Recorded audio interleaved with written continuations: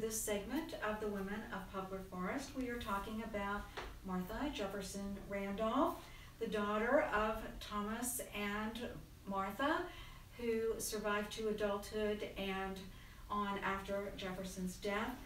Martha's life changed very drastically after her mother died. She became a constant companion to her grief stricken father, who was uh, devastated at the loss of his wife and soulmate. And then two years later, Martha's life changed very drastically again. Jefferson was offered a post in France as the plenipotentiary when Benjamin Franklin uh, would step down. So Jefferson is making plans to sail to France and he wants to take his daughter Martha with him. Uh, so uh, Martha will soon find herself at a French convent, the Royal de Panthemont, and at the age of 12, she is learning French. She's meeting uh, young girls from different countries, and some of these friends will be her lifelong friends, and they will write to each other over their lifetime. So Martha's formative years were spent in and around Paris from the age of 12 through the age of 17. In 1789, uh, the shots of the French Revolution are being heard, and Jefferson comes home. He thought for a short visit, but it was for good. Uh, Martha's Martha's life changed again, and and how? Even though she was a very cosmopolitan young woman, she must have been by now and very well educated. Within six months of coming home, she is married to her third cousin, Thomas Mann Randolph, and taking care of the plantation at Edge Hill. By 1809, when Thomas Jefferson retires from the presidency and retires to Monticello, to his family, his farm, and his books, uh, Martha is taking care of two plantations, Edge Hill and Monticello as well. Over 27 years, Martha will give birth to 12 children. 11 of them will live to adulthood. Uh, Martha, being one of the best educated women in the state, will educate her own children in the South Square room at Monticello. Well, being that Monticello is now the curiosity of the neighborhood, when Jefferson wants to get away from the news and noise of Monticello, he will come here to Poplar Forest to live the life of a hermit.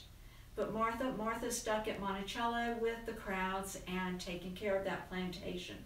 She was able to come here for three times um, during uh, the time that her father would be coming here. Uh, those times must have been a really nice uh, rest and uh, respite from all of the noise at Monticello.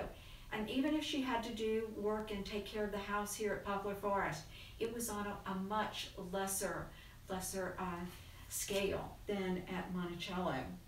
One visit while Martha was here at Poplar Forest and one of her young older daughters, uh, Ellen, is taking care of Monticello.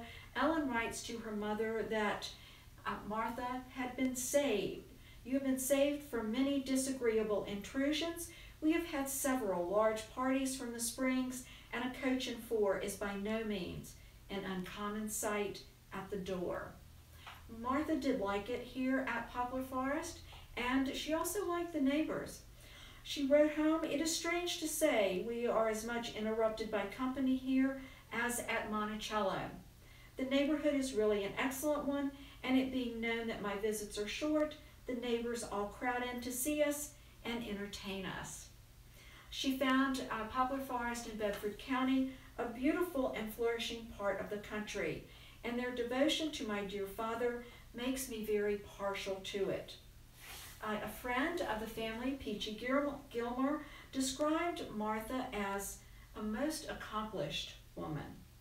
She was tall and loosely made, awkward, frank, and eloquent, with a devotion to the instruction of her children he found her one of the most interesting persons of the age. But for all of Martha's accomplishments, once her father died, she became almost a gypsy, moving from child to child because Monticello had been sold. So she lived out the rest of her life with her children that lived in Boston, Washington, D.C., and then her own home, Edge Hill, in Albemarle County. She died at Edge Hill On October the 10th, 1836, she was 64 years old. She is buried in the Monticello graveyard, and in death as in life, she is between her husband and her father.